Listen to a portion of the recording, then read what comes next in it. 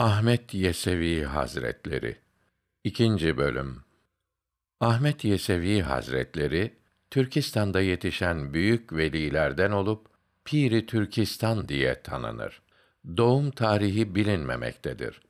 1194 Hicri 590 senesinde Yesi'de vefat etti.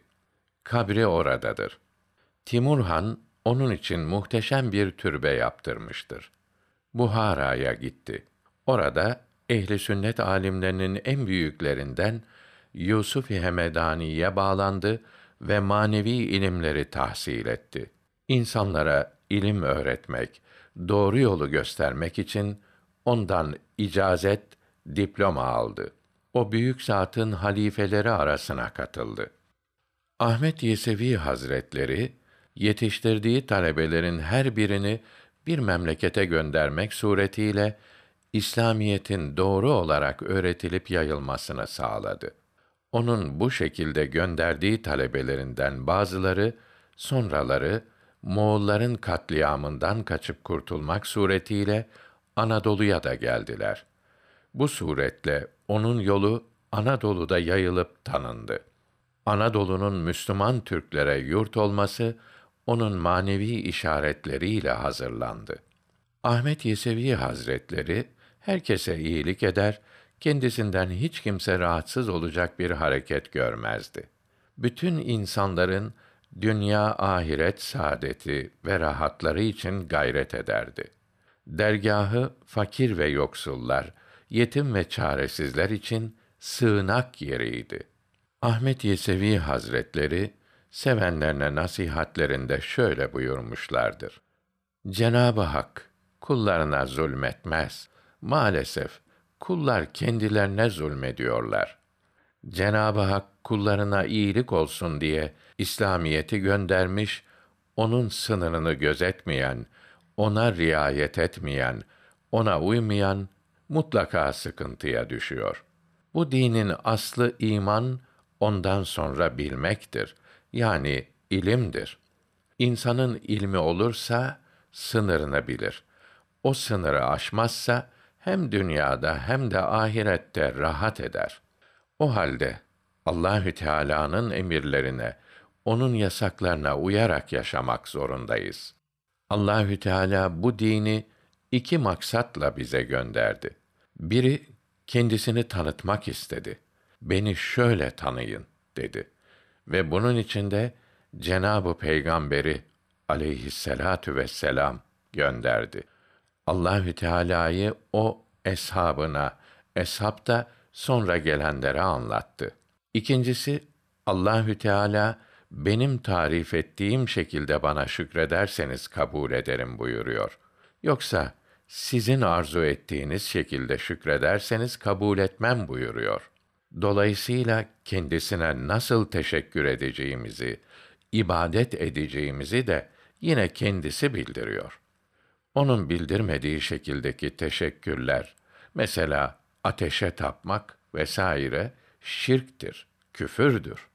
Allahü Teala'nın kendisini tanıtması da iki yol ile olur. İlim yoluyla olanı alimler tarif eder. Ciltlerle kitaplar yazar, anlatırlar. Fakat bu bilgiler unutulabilir. Çünkü nefs daima isyandadır, gaflettedir. Vesvese vardır. İmanlı ölmemek tehlikesi her zaman vardır. Ama hal yoluyla olursa şeytan onu kandıramaz. Neden? Bir insana istediğiniz kadar baklavayı tarif edin. Onu öğrenir. Fakat unutabilir. Ama baklavayı ona yedirdikten sonra, onun tadını aldıktan sonra ölünceye kadar onu unutamaz. Dolayısıyla şeytanın vesvesesi karşısında ben bunun tadını biliyorum der ve onun imansız ölme tehlikesi ortadan kalkar. Büyüklerden bir zat buyurdular ki, dünyada kim kimi severse, ahirette de onun yanında olacaktır. Onu değil, bunu değil ama hiç değilse birini sev de kurtul. Onun için bu yolda ehil na ehil bera perest buyuruyor. Yani birbirini sevenlerde ayrılık yoktur. Hepsi beraberdir. Bir tane iyi çıksın, hepsi doğru içeriye. Şimdi bir mübarek zata bir talebesi gelmiş. Efendim bana dua edin demiş. O da ne istiyorsun demiş. Son nefeste imanla gitmek diye cevap vermiş. Peki son nefeste nasıl ölünür? O da Allah diyerek demiş. Peki son nefesin ne zaman olduğunu biliyor musun? Yok. Son nefes belki biraz sonradır. Sen neden Allah demeyi tehir ediyorsun ki? Hemen başla demiş. Onun için insanın peşini bırakmayan, onu takip eden ölüm vardır. Dolayısıyla herkes ona hazırlanmalıdır. Büyükler zaten ne diyor? Ölmeden evvel ölün. Hesabınız görülmeden evvel hesabınızı görün. İnsanlar öldükten sonra başlarına gelecek şeylerin orada hakikat olduğunu görecek. O halde insan ölmeden evvel başına geleceklere yakin hasıl etmesi lazımdır. Bunun için de çok ibadet etmesi lazımdır.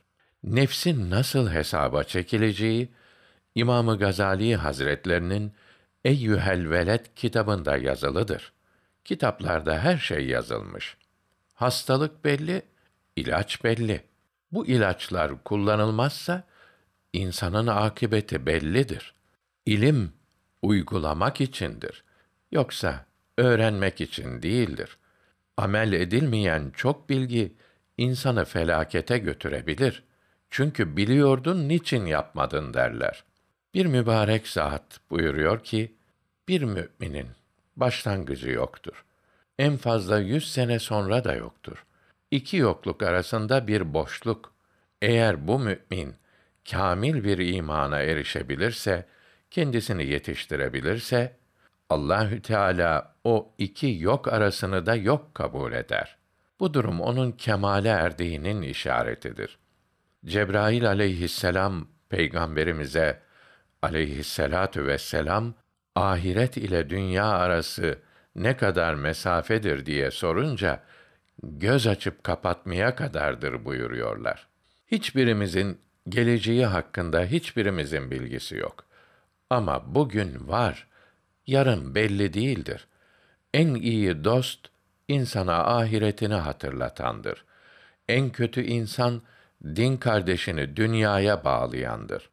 Mal ve şöhret hırsı aç iki kurttan daha tehlikelidir. Kurt bir sürüye dalarsa hepsini boğar. Belki bir, belki iki tanesini yer.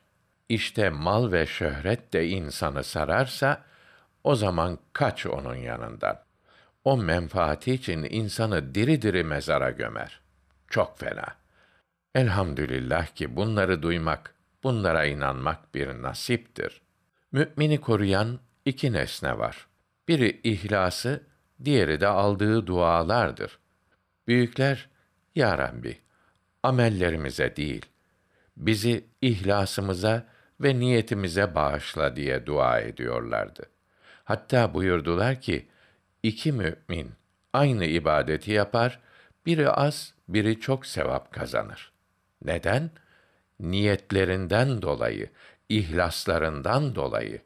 Cenabı Peygamber aleyhisselatu vesselam da zaten Allahü Teala sizin suretlerinize, mevkiinize, hatta amellerinize değil, kalbinize, niyetlerinize bakar buyuruyor. Her müminin niyeti Rabbimizin rızası olmalı. Hepimizin ihlası başkasının hakkını, başkasının kıymetini kendimizden üstün bilmek olmalıdır kendisini din kardeşinden üstün gördü mü, onun ihlası yok demektir. İhlas, Allah için yapılan ibadettir. Allahü Teala için yapılan ibadetlerin özü din kardeşine çok faydalı olmaktır. Kendi menfaatini düşünenler çok tehlikededir. Bir gün Peygamberimiz aleyhisselatu vesselam anlatıyorlar. Her peygamber bir hususiyeti, ahlakı, ameli sebebiyle peygamber olarak seçilmişlerdir. Oradakiler, Ya Resûlallah, siz hangi amelinizle peygamber seçildiniz diye sordular. Buyurdular ki, İshar, İshar, kendi ihtiyacı olan bir nesneyi ihtiyacı olan mümin kardeşine vermektir. Bu da çok zor. Ama hayatında hiç değilse bir defada bu sünnete uymak için ihtiyacı olan bir şeyi arkadaşına vermeli. Ahmet Yesevi Hazretlerinin bir menkıbesini nakledelim. Merv şehrinde Mervezi namında bir müderris var idi. Ahmet Yesevi hakkında söylenilen uygunsuz ve uydurma sözler ona kadar gitmişti. Bu yalanlara aldanıp kendisini imtihan etmek, şüphesini gidermek niyetiyle yanına 400 müşavir ve 40 tane de müftü alarak yola çıktı. Her tarafta talebeleri olduğunu, her zaman sohbetinde binlerce kişinin hazır bulunduğunu öğrenmişti. Ben üç bin mesele ezberledim. Hepsine ayrı ayrı sual sorar, onları imtihan ederim diye düşündü. Bu sırada Ahmet Yesevi Hazretleri hanegahında bulunuyordu. Talebesi Muhammed Danişmende bakar mısın bize kimler geliyor buyurdu. Mervezi'nin maiyetiyle yanındakilerle birlikte hafızasında üç bin meseleyle geldiğini bildirdi. Hacı Hazretlerinin emriyle Muhammed Danişment o üç bin meseleden binini Mervezi'nin hafızasından sildi. Sonra talebelerinden Süleyman Hakim Ata'ya aynı şekilde emretti, o da öyle yaptı. Mervezi hafızasında kalan bin mesele ile Yesi'ye geldi. Hacı Hazretlerinin yanına gelip Allah'ın kullarını doğru yoldan ayıran sen misin? dedi. Hace hiç kızmadı, karşılık da vermedi. Şimdilik üç gün misafirimiz ol. Ondan sonra görüşürüz buyurdu. Üç gün sonra bir kürsü kuruldu. Mervezi kürsüye çıktı. Hacı Ahmet Hazretleri, Muhammed Hakim Ata'ya tekrar emredip, o bin meseleyi Mervezi'nin hafızasından silmesini emretti. Hakim Ata, Allahü Teala'ya dua etti. Aklındaki bin mesele de silindi. Mervezi, kürsü üstünde bir şeyler konuşmak istedi. Fakat hafızasında hiçbir meselenin bulunmadığını anladı. Nihayet defterini açıp oradan okumak istedi. Fakat defterinin sahifelerindeki yazıların da silindiğini gördü. Sahifeler bomboş idi. Bu hali gören Mervezi kusurunu anlayıp oracıkta tövbe etti, talebeliğe kabulü için yalvardı.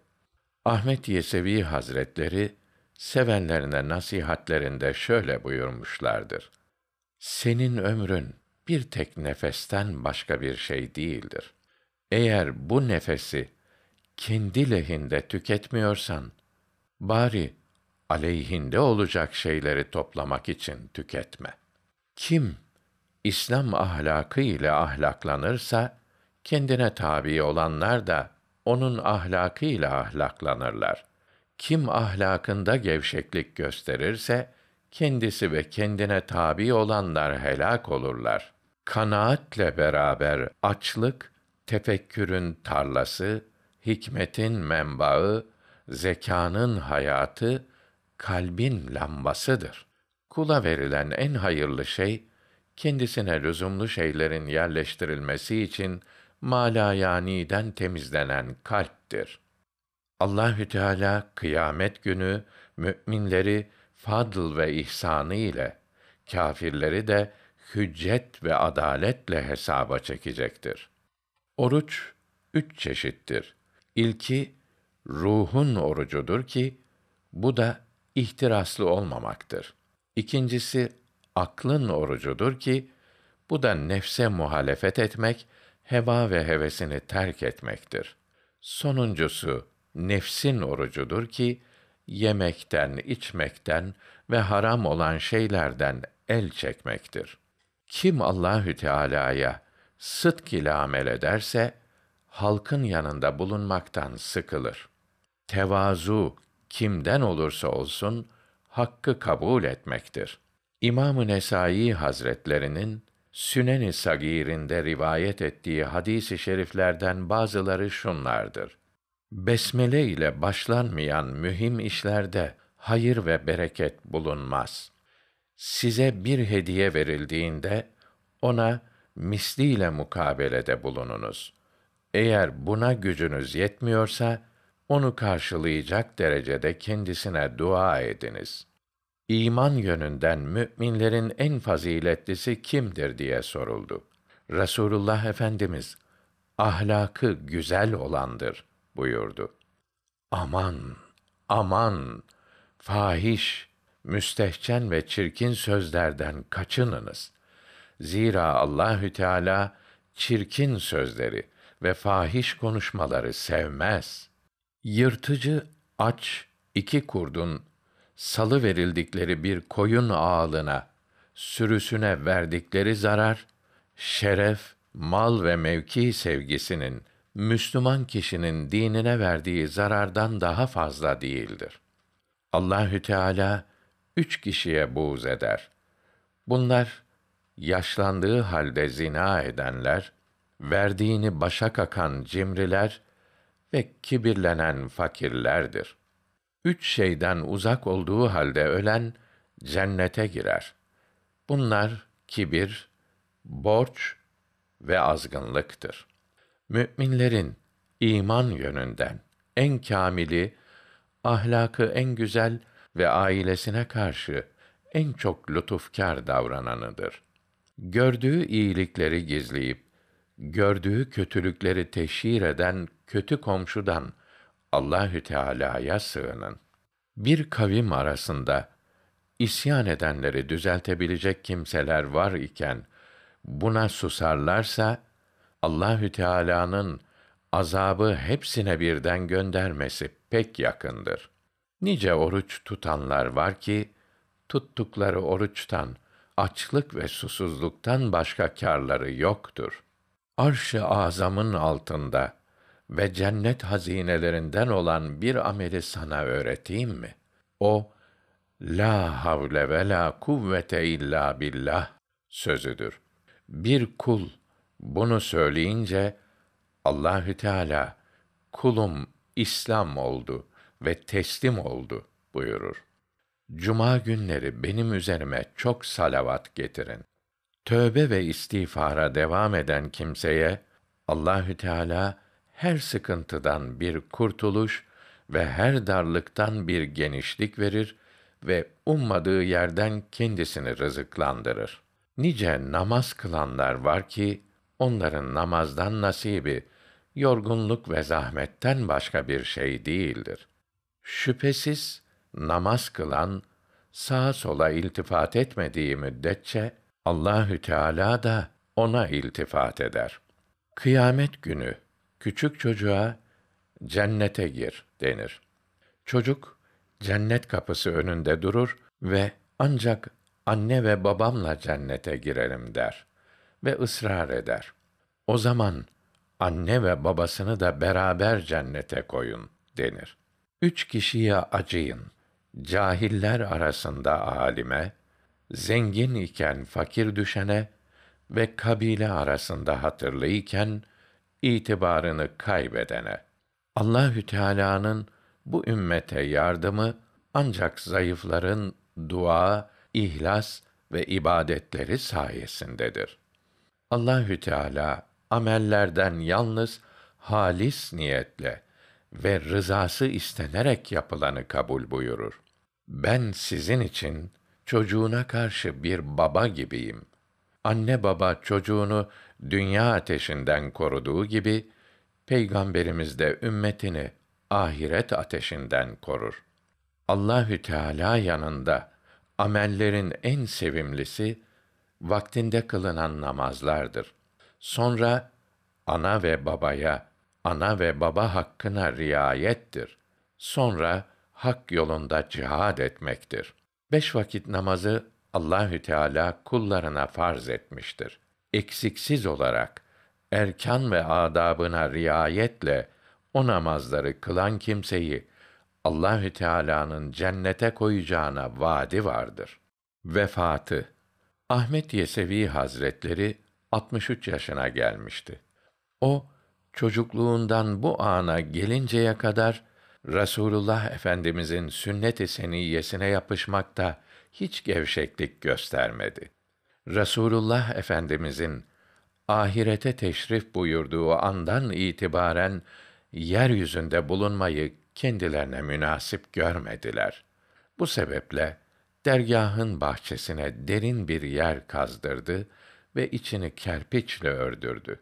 Nihayet hazırlıklar tamamlanınca talebelerini dergahın avlusunda toplayıp ey gönül dostları Allahü Teala'nın en sevgili kulu olan Peygamberimiz Muhammed Mustafa Hazretleri 63 yaşında bu dünyadan ayrıldı. Ben de şimdi 63 yaşındayım.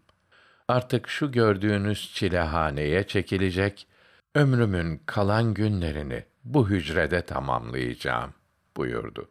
Müritlerinin gözleri yaşlı olarak ey sultanımız bizim halimiz nice olur sözlerine karşı sizi Allahü Teala'ya emanet ediyorum dedikten sonra merdivenle çilahaneye indi. Ahmet Yesevi Hazretleri mezar misali olan o yerde vefat edinceye kadar devamlı ibadet, taat ve Allahü Teala'yı düşünmekle meşgul oldu. Talebelerine ilim öğretmeye orada da devam etti. Kendisini vefat etmiş, kabre konmuş şekilde hissederek bambaşka bir huşu, bağlılık ve teslimiyetle ibadetlerini yaptı. Burada evliyalık yolundaki makam ve dereceleri kat kat arttı. 63 yaşından sonra ömrünün diğer yarısını orada ibadetle geçirdi. 125 veya bir rivayete göre ise 133 yaşında vefat etti.